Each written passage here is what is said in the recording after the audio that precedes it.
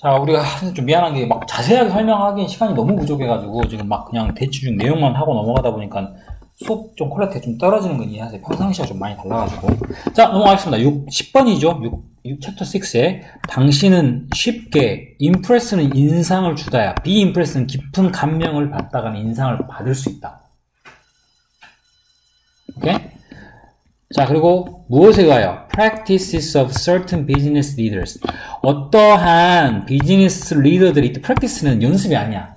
어떠한 행동, 행동들을 말해요. 실행이나 행동들에 의하여 너는 깊은 감명을 받을 수 있다라고 얘기하자. 오케이? 그리고 try to follow. 뭐해?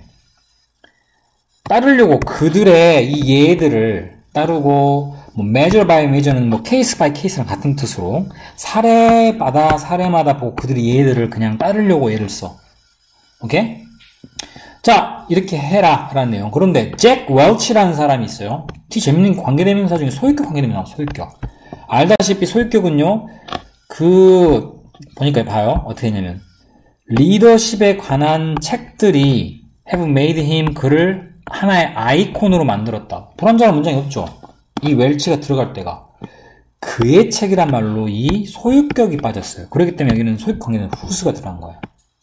자, 중요한 건, 컴마, 뒤에 컴마 보이시죠? 이건 중간에 삽입돼 들어간 거니까 문장으로 봤을 때는 주어 그리고 뒤에 있으란 동사가 반드시 나와야 돼요. 알겠어요? 그러니까 그의 리더십에 관련된 그의 책이 그를 아이콘이라서 굉장히 유명 인사로 만들어줬던 그러한 웰치라는 사람은 is known 알려지다. 무엇으로? executive는 뭐 사장님과 같은 높은 CEO제. 이 사람 뭐 한 사람이야? connects on a person to person basis. 사람 대 사람의 기반을 두고 연결하는 거예요. 부분적으로. 왜냐하면 그는 이 사람 대 사람이란 말이 왜 나왔나? 그 이름들, 그가 만난 모든 사람들의 이름들을 다 기억하기 때문에 이거 대단한 거죠. 그죠? 그러니까 사람과 사람으로 이렇게 서로 연결이 된다는 거예요. 자, 다 넘어갑니다. 이러한 사실은, 이렇게 모든 사람이 이, 이, 기억한다는 사실은, astounds, 놀래킴을 주고 첫 번째, 두 번째 impresses 감명을 준다 모든 사람들에게 그리고 또한 이러한 사실은 만든다 그들로 하여금 중요하다라고 느끼게 야 내 이름 기억해 주네 저 유명한 사람이 되게 중요한 사람인가봐 느끼게 된다 지금 이 웰치스라는 사람의 리더십 이 사람의 리더십의 어떤 그런 특징이죠 그죠? 자, wouldn't you want to do that? 당신은 그렇게 하고 싶지 않을까요? 하고 싶지. 다 기억할 수 있겠어, 그 사람의 기억을? 이름, 사람 이름을? 난 못할 것 같은데.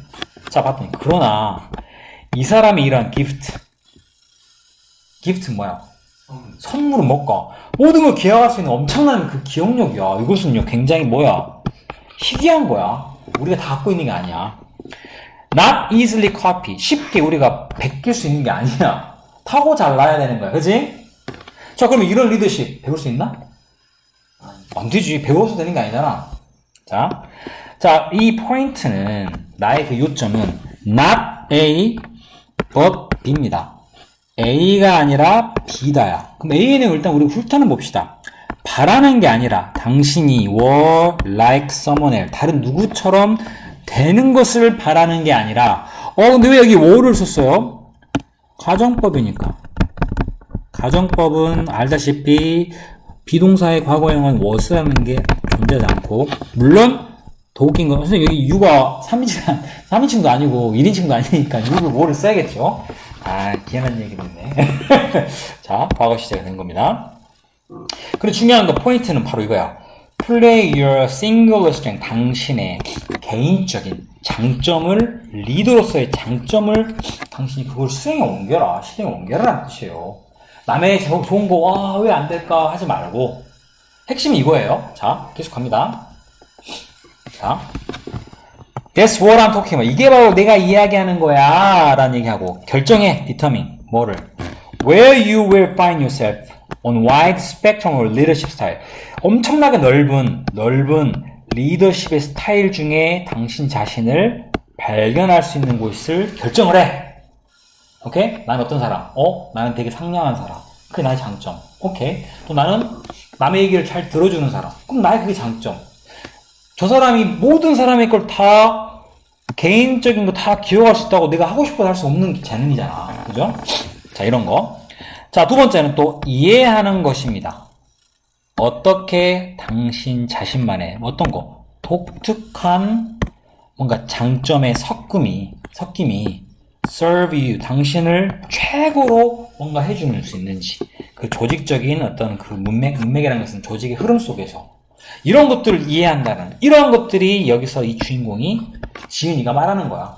너가 장점이 이 엄청나게 넓은 리더십 스타일 중에 어디에 들어가는지를 네가 알아야 되고 그걸 결정해야 되고 그 다음에 어떻게 너의 이 개인적인 다른 사람과 다른 나만의 독특한 장점들의 그 조합이 당신을 최고롭게 뭔가 할 수 있도록 해주는지를 이해해야 되고 그래서 이- 이게 여기서는 핵심이 하고 싶은 말 그러나 There is one element 하나의 요소는 분명히 존재합니다. cannot be missing. 놓치거나 부- 뭔가 빠질 수 없는 부분. 뭐로부터 당신 리더십에서. 바로 그게 뭐냐? Authentic you. 이건 무슨 말일까? 당신의 진솔한 너란 뜻입니다. 가식적인 게 아니고 진짜 너 너 자신.